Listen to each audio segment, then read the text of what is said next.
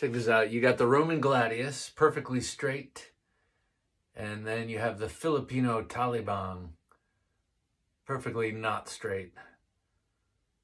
Both very, very efficient at similar things.